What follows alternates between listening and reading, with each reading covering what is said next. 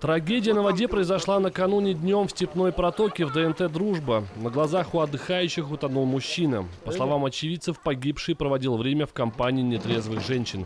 Впрочем, и сам мужчина, судя по всему, находился в состоянии алкогольного опьянения. С ребятами буквально час стояли, как только пришли. Он к нам подходит, говорит, ребята, есть стакан? Да, ну, говорю, мы не пьем, у нас стакана нет. Ну все, он развернулся, ушел, и буквально через 15 минут наши девочки подходят, там ребята говорят, что человек утонул. Вот в той местности он плыл, и, получается, плыл вот сюда. Его понесло по течению, и вот тут возле коряги, вот там, где ребята сидели, его унесло оттуда. Вот он, как бы выпивший был немножко.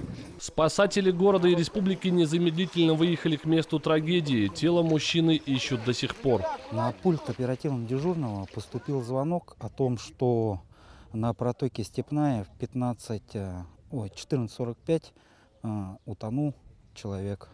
Группа водолазов незамедлительно выехала на место и на данный момент производит поисково-спасательные работы. В момент трагедии на запрещенном для купания пляже находилось много людей, в том числе пьяных. Все продолжали купаться, как будто трагедии и не было. Вы скажите, вы зачем пьяный купаетесь? Я пьяный не купаюсь. Я за детьми смотрю. Я просто голову смочу, вот так по большому счету. И чтоб мне ребята были все под контролем. А мне дети просят специально. Ну, как специально. Ну, вы же понимаете, в случае чего вы детей не спасете в таком состоянии. Они не лезут. Когда спасательные службы города искали тело утопленника на степной протоке, стало известно, что еще один мужчина также в состоянии опьянения утонул возле пионера. В 17.15 также поступает дополнительное сообщение о том, что в районе торгового центра э, «Пионер», расположен на, Селенге, рядом с рекой Селенгой, также утонул мужчина. От, э, поступило тоже от очевидца.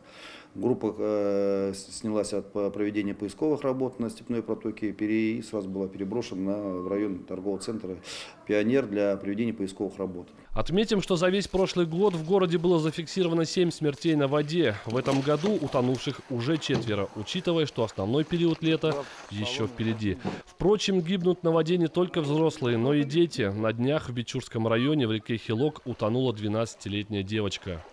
Взрослые, несмотря на то, что указанная река Хилок считается быстроводной и опасной, отпустили детей одних. Девочки купались в небольшом затоне. Через некоторое время одна из подруг увлеклась и отплыла дальше от берега. Ее тут же подхватило течение, отнесло к середине русла. Девочка некоторое время держалась на поверхности, но через несколько сот метров выбилась из сил и скрылась под водой. Из-за сильного течения реки спасти ребенка не смогли даже взрослые люди. Тело девочки обнаружили позже, в 8 километрах от места трагедии. Напомним, что уровень рек Бурятии в последнее время только растет и купаться в них опасно для жизни.